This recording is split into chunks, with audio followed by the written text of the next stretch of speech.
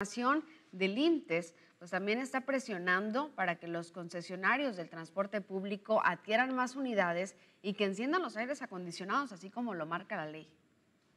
Presionan a concesionarios del transporte público en Hermosillo para que adquiera más unidades y preste un servicio integral donde todas las unidades lleven encendido el aire acondicionado como lo marca la ley, aseguró el coordinador del Instituto de Movilidad y Transporte del Estado. Carlos Sosa Castañeda, titular de la dependencia, informó que actualmente se tiene un déficit de un 15% y se presta un servicio diario con 310 unidades de las 332 que deben de ser. Ya con el concesionario eh, para poder, va a haber alguna inversión por parte del concesionario para efecto de que más unidades lo estén encendiendo el, aire.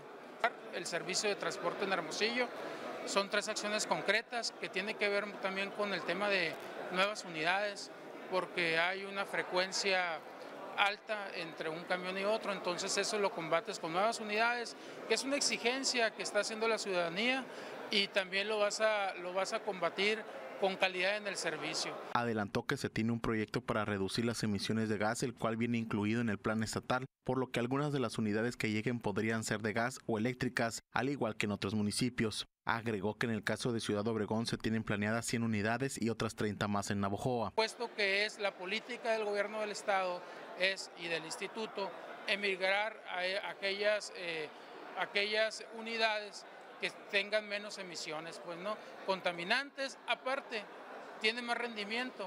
Una unidad de gas da un rendimiento más del 30%, o sea, baratas el costo de prestación de servicio y una unidad eléctrica alrededor del 60%. Entonces, así ya tenemos que tender. Por ley, los concesionarios de transporte público están obligados a dar el servicio con el encendido del aire acondicionado del 1 de mayo al 30 de septiembre. Con imágenes de Ricardo Hernández, informó para Noticias Telemax, Af del Romero.